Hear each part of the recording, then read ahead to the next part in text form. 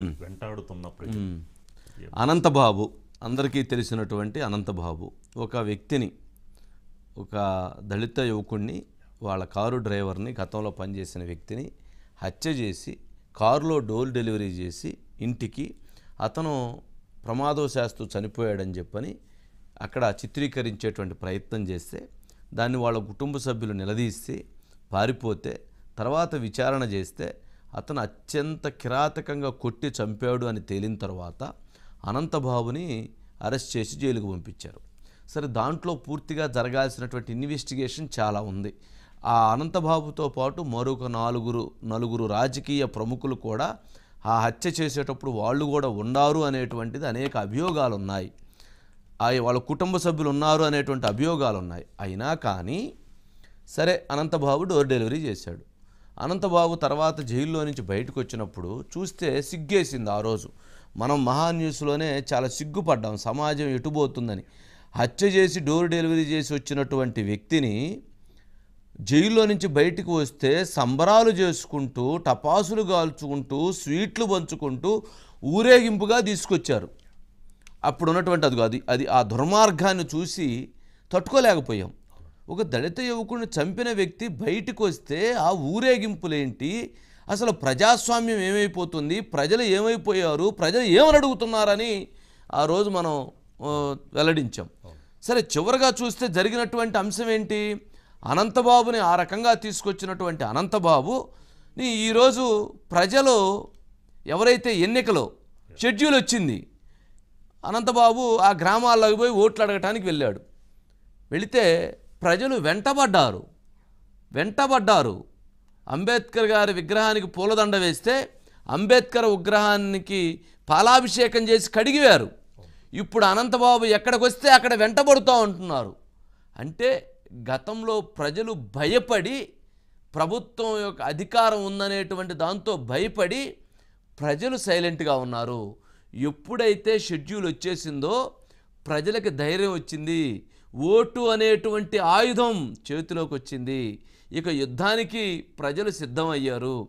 అందుకని ప్రజలు వెంటబడ్డారు. కొద్దిగా త్రుటిలో తప్పిందట. లేకపోతే చిత్తకొట్టుడు కొట్టేవాళ్ళట. ఎట్లా?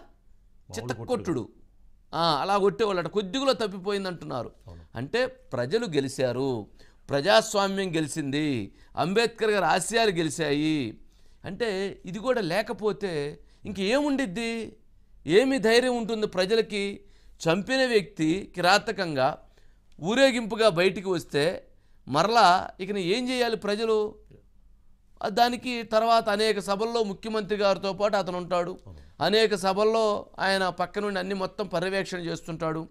పోలీసు ఆఫీసర్లందరూ ఆయన ఇంటికి పోయి ఉదయాన్నే సెల్యూట్ కొడుతూ ఉంటారు. అలాంటి దుర్మార్గాలని అలాంటి వాటిని అనేకం చూసాం మరి అలాంటి పరిస్థితి నుంచి ఈరోజు ప్రజలు వెంటబడితే అతను పారిపోయే పరిస్థితికి వచ్చిందంటే అదే ప్రజాస్వామ్యం అదే ప్రజల విజయం అదే ప్రతిపాడు లేదా ఆ ప్రాంత ప్రజలు విజయం. పాపం వాళ్ళతో పాటు ఆ వర్పుల సుబ్బారావు ఆ చలమశెట్టి సునీలు ఆ ఎంపీ క్యాండిడేట్ ఆయన కూడా ఉన్నాడట. పాపం వాళ్ళు కూడా పలాయనం చిత్తగించారు.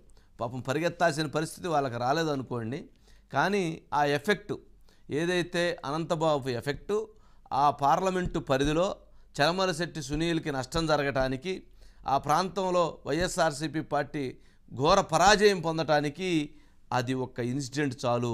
ఈరోజు ఎక్కడైతే ప్రజలు ఎలా అయితే పరిగెత్తిచ్చారో ఇక ప్రతి దగ్గర కూడా ప్రతి గ్రామంలో కూడా చైతన్యం వచ్చి అలా పరిగెత్తిచ్చేటువంటి పరిస్థితి ఏర్పడబోతుంది. ఒక్కసారి ఆ విజువల్ వేయండి ఫుల్ ఫుల్ స్క్రీన్.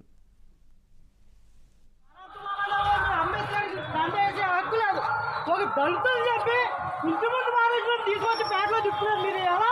ఒక దళితులు ఏదో కొడుకు లెక్కలేదు దళితులు చెప్పి అనంత బాబు. దళితులు చెప్పి దూవాడు దళితులు చెప్పిన ఒక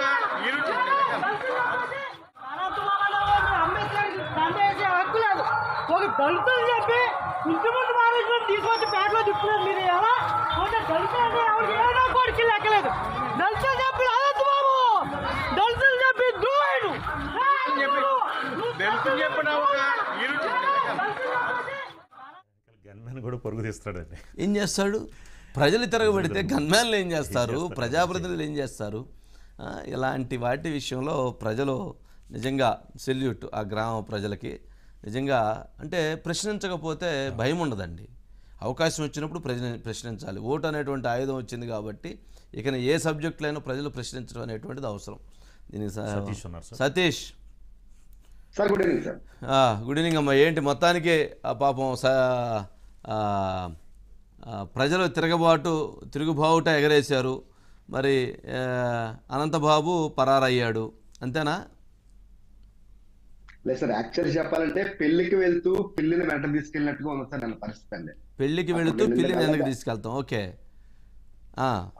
పరిస్థితి కూడా అలానే ఎదురైస్తారు కూడా. ఎందుకంటే వాళ్ళు ప్రచారంలో భాగంగా వరపులు సుబ్బారావు అలాగే ఆ సునీలు వీళ్ళిద్దరూ వెళ్తూ వెళ్తూ కూడా కింద కూడా తీసుకెళ్ళి అక్కడ దళితులకు సంబంధించి ఓట్లు ఏవైతే ఉన్నాయో అక్కడ ధర్మవరం గ్రామంలోకి అడిగట్టంగానే ఇక్కడ ముగ్గురు కలిసి కూడా వెళ్ళడం జరిగింది సార్. అదే అంబేద్కర్ విగ్రహానికి ముందు సు- అలాగే సుబ్బారావు ఇద్దరు వెళ్ళి బయటకు వచ్చేస్తారు సార్. వచ్చేసి వెదరికి వెళ్ళిపోయిన తర్వాత ఇంకా ఆఖరున వెళ్ళి తన దండేసి అక్కడ దిగిన వెంటనే సార్. దిగిన వెంటనే కూడా అక్కడ హడావుడిగా వెంటనే పరుగు పరుగున పక్కన ఒక పాల ప్యాకెట్లు నాలుగు పాల ప్యాకెట్లు కొనుక్కొచ్చి ఆయన అక్కడ ఉండగానే ఆ పాల ప్యాకెట్లతో మొత్తం దాన్ని శుభ్రం చేసి కడిగేసి ఇంకా వెంట వెంట పట్టడం మొదలు పెట్టారు సార్. ఇదంతా చూస్తున్నాడు.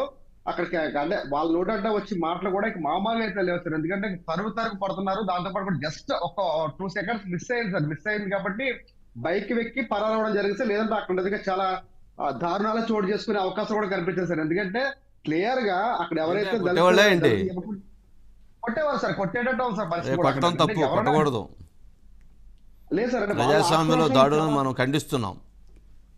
సార్ అక్కడ వాళ్ళ- వాళ్ళ ఆక్రోశం చాలా దారుణంగా ఉంది సార్ ఎందుకంటే దళిత యువకుడిని చంపిన తర్వాత కూడా మరలా వచ్చి విగ్రహానికి అంటే అంబేద్కర్ విగ్రహానికి మాల వేయడం అనేది ఏ రకంగా వేస్తారని చెప్పేసి కూడా మొత్తం అందరూ కూడా ఆగ్రహానికి లోనే ఉన్నారు సార్ దాంతో భాగంగానే నిన్న కూడా అక్కడ యువకులందరూ కూడా ఒక్కసారిగా ఆయన మీద తిరగబడడంతో పాటు కూడా. ఇక వెంటనే ఉన్న సెక్యూరిటీ గార్డ్స్ కూడా ఇక వాళ్ళు ఏం చేయలేని పరిస్థితిలో వాళ్ళకి వెనక పరుగు పరుగు కూడా వెళ్ళడం కూడా సార్. ఏమైనప్పటికైతే ఎక్కడికి వెళ్ళినా సరే ఇటువంటి పరాజయాలు అయితే మాత్రం కంటిన్యూ ఎదురవుతూనే ఉన్నా సార్ ఎక్కడ ఎవరో కూడా స్వాగతించడానికి అయితే అనంతబాబు సిద్ధంగా అయితే మాత్రం ఈ గోదావరి జిల్లా కాకినాడ జిల్లా కావచ్చు అయితే అల్లూరు జిల్లా స్వగ్రం ఎల్లవారం కావచ్చు ఎక్కడ కూడా స్వాగతించడానికి అయితే సిద్ధంగా అయితే లేదు sir. Right right Satish right మొత్తానికి ఇక్కడ ప్రజాస్వామ్యం ఈరోజు ప్రజలైతే గెలిచారండి. లేదా నిన్నటి వరకు చాలా భయానకమైన పరిస్థితి కదా. జైల్లో నుంచి మర్డర్ చేస్తే ఆ ఊరేగింపులు ఏంటండి? టపాసులు కాల్చడం ఏంది? స్వీట్లు పంచడం ఏంది? ఏ స్వాతంత్ర ఉద్యమం కోసం పోరాడాడు? లేదా